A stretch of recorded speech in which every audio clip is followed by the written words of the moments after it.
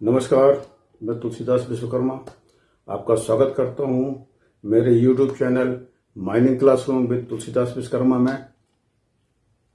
साथियों हम लोग पिछले पाँच वीडियो में आ, हम लोग देख रहे हैं माइनिंग ब्लास्टिंग के संबंध में और एक्सप्लोसिव और ब्लास्टिंग के बारे में हम लोग बात कर रहे हैं और उसी से संबंधित वीडियो हमारे पाँच ये छठवा वीडियो बन रहा है और हम लोग इस बारे में बात करते रहे हैं और लोगों को बहुत पसंद आ रहे हैं, क्योंकि ये डीजीएमएस द्वारा आयोजित परीक्षाओं में तो उपयोगी हैं ही और साथ ही साथ ये अन्य परीक्षाओं में भी जो पढ़ने वाले स्कूल, कॉलेज में पढ़ने वाले बच्चों के भी बहुत काम आ रहे हैं और उनका उनका मुझे बहुत प्रतिसाद मिल रहा है। इसके लिए मैं आपको धन्यवाद देता हूँ और इसमें काफ़ी एनर्जी उससे मिल रही है मुझे। तो हम लोग बगैर समय नष्ट किए चालू करते हैं। एक्सक्लूसिव एंड शॉर्ट फायरिंग से संबंधित चैप्टर जो हमारा चैप्टर है उस, उस उसको हम लोग आगे बढ़ाते हैं। आइए।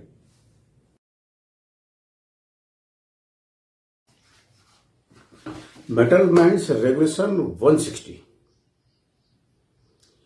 इसमें ये ब्लास्टर के नाम से रेगुलेशन है और आज हम इसी के बारे में बात करेंगे और इसको ही देखेंगे इसके कंटेंट क्या है। इस अंग्रेज़ी में स्लाइड है और हिंदी में आपको मैं कंटेंट समझा रहा हूँ।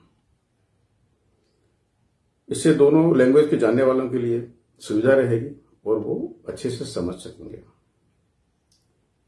इसका पहला पॉइंट यह है कि प्राइमिंग कार्टेज बनाने या बारूद को बनाने और चार्जिंग करने और स्टेमिंग करने का कार्य एक सक्षम व्यक्ति के निजी सुपरविजन में या निरीक्षण में ही किया जाएगा। एवं ऐसे सक्षम व्यक्ति को इन रेगुलेशन में ब्लास्टर के नाम से परिभाषित किया जाएगा, जाना जाएगा। ब्लास्टर स्वयं ही ब्लास्टिंग करेंगे या दगानी करेंगे या विस्फोटन करेंगे। ये, इस रेगुलेशन का बहुत ही इंपॉर्टेंट पॉइंट है। तो इसको आप बहुत ध्यान से समझ लीजिए कि क्या क्या इसके कंटेंट है और क्या क्या इस पे स्ट्रेस दिया गया है। आप अच्छे से समझ लीजिए। प्राइमरी कार्टेज बनाना ठसानी करना और चार्जिंग करना ब्लास्टिंग करना और ये सब कार्य एक निजी सुपरविजन में होगा और ब्लास्टिंग जो ब्लास्टर है वो खुद करेगा। इसमें इस पर बहुत स्ट्रेस दिया गया।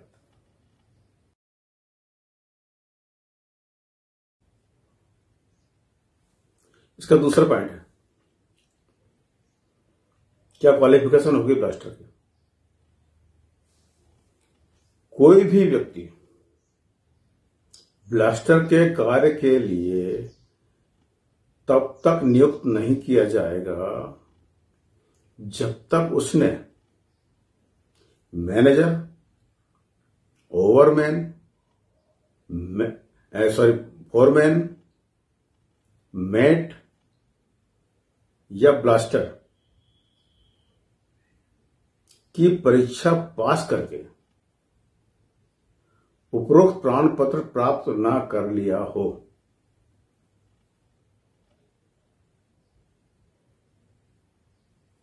इसका तीसरा पॉइंट यह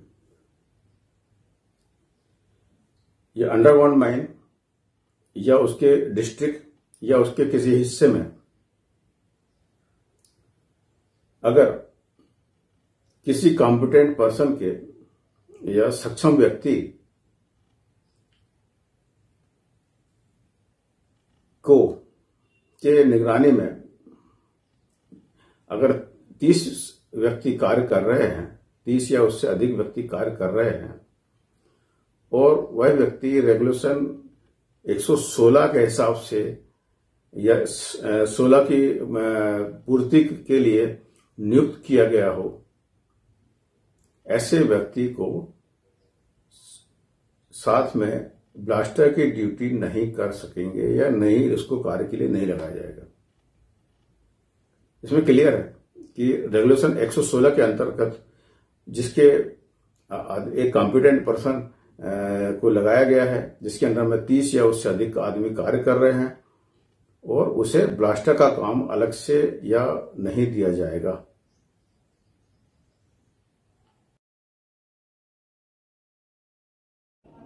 इसका चौथा पॉइंट ये है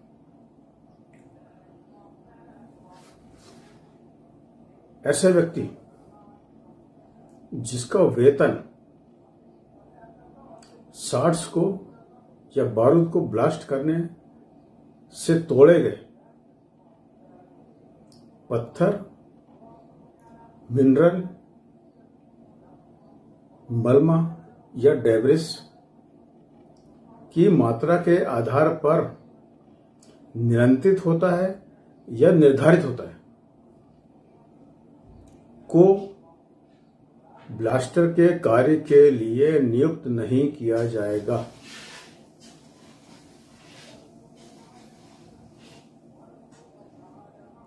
इसका पांचवा पॉइंट ये है। खान का मैनेजर। समय समय पर ब्लास्टर द्वारा एक शिफ्ट में ब्लास्ट किए जाने वाले शॉट्स की संख्या फिक्स करेगा।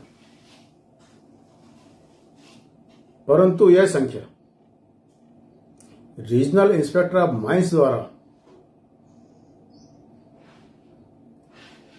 लिखित आदेश जिसमें उनके द्वारा लगाई गई शर्तों और स्थितियों के बावजूद 80 से अधिक नहीं होगी। अगर वह इलेक्ट्रिक से ब्लास्टिंग कर रहा है या इलेक्ट्रिक शॉर्ट फायरिंग कर रहा है, तब अगर शॉर्ट्स को इग्नाइटर कार्ड के द्वारा ब्लास्ट किया जा रहा है तो उस कंडीशन में या उस स्थिति में 50 से अधिक नहीं होगी।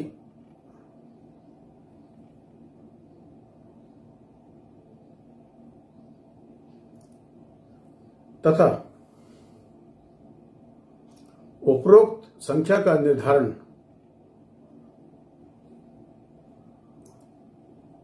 अगली स्लाइड में बताया बताया बताया जा रहा है, उस संख्या उस स्थितियों के आधार पर भी होगा।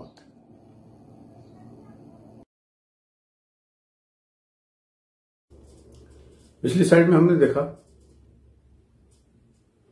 कि शॉर्ट्स की संख्या को प्रभावित करने वाले पॉइंट कौन से हैं? वे पॉइंट इस प्रकार है।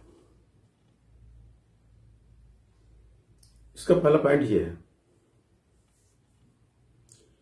रेगुलेशन में वर्णित सभी प्रावधानों का पालन करते हुए बारूद को बनाने से लेकर ब्लास्टिंग या फायर करने के लिए लगने वाला मानक समय के आधार पर दूसरा पॉइंट यह है। ब्लास्टर को ब्लास्टिंग करने के लिए एक स्थान से दूसरे स्थान तक या एक फेस से दूसरे फेस तक जाने में और आने में लगने वाला समय भी कंसीडर किया जाएगा।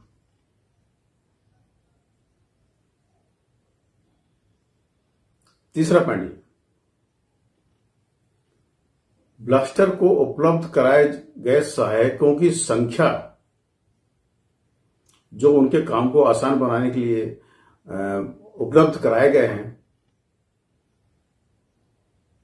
के आधार पर भी उनको कितने शॉट्स को ब्लास्ट करना है, का निर्धारण किया जाएगा। ये पॉइंट्स, ये जो बातें हैं, ये भी उस बात को प्रभावित कर। चौथा पॉइंट यह है। ब्लास्टर को ब्लास्टिंग करने के अलावा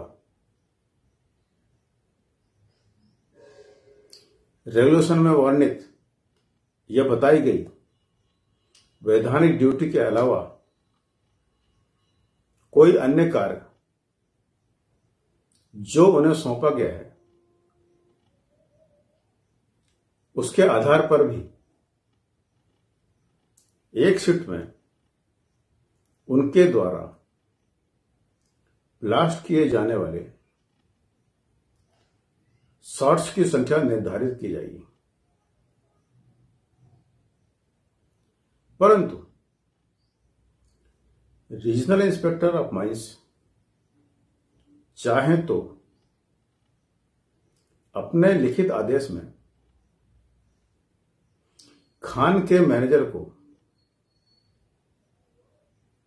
इन रेगुलेशन के सब रेगुलेशन या उपबंधों में बताए गए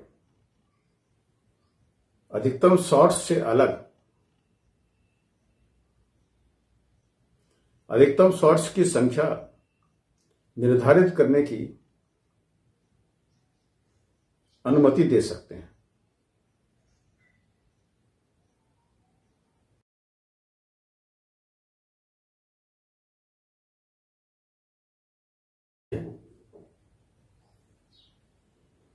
अधिकतम फिक्स किए गए शॉर्ट्स और ब्लास्टर को इश्यू किए गए डिटोनेटर की संख्या। उसकी सीट भर में, उसके पास या उसके कब्जे में पाए जाने वाले डिटोनेटर इस रेवल्यूशन में बताए गए उपबंध, या सब रेवल्यूशन पाँच में बताई गई संख्या याद करिए पिछला सब रेवल्यूशन पाँच। में बताई गई संख्या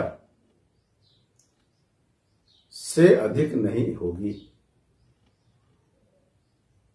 ये छठवा पॉइंट है, उसके पहले वाला पॉइंट था पांचवा। उसमें बताई गई संख्या से अधिक नहीं होगी। यानी उनके पोजिशन में भी जो मैक्सिमम जो जो उनके जो लिए फिक्स किए गए हैं, उसके आधार से ज़्यादा नहीं होगी। तो ब्लास्टर की जो ड्यूटी है जो ब्लास्टर के जो क्वालिफिकेशन है और उसके जो वर्कलोड है, उसके बारे में ये रेगुलेशन अब यहीं खत्म होता है। ये रेगुलेशन 160 एमएमआर का यहीं समाप्त होता है और आज का वीडियो यहीं खत्म करते हैं। अगला वीडियो जो हमारा होगा कोल माइन्स रेगुलेशन 190 के हिसाब से साठ फरर। ये हमने देखा मेटल माइंस का? हम देखेंगे कोल माइन्स का। उसमें शॉर्ट फरर की क्या ड्यूटी है क्या क्वालिफिकेशन है और क्या उस, उसका वर्कलोड है इस बारे में हम लोग देखेंगे। और उस उस वीडियो का नाम होगा माइनिंग एग्जामिनेशन थर्टीन और एग्जामिनेशन स्ट्रेटेजी टू भी तैयार है। हो सकता है दोनों वीडियो साथ में प्रदर्शित हो जाएँ। तो फ्रेंड्स आज के वीडियो में इतना ही। और अगर आपको अच्छा लगा हो तो इस वीडियो को लाइक और सब्सक्राइब कर दें। और जो माइनिंग के जो नीडी पीपल्स हैं या नीडी जो एग्जामिनेशन में अपियर हो रहे हैं, उन तक इसको पहुँचाने की कृपा करें। धन्यवाद।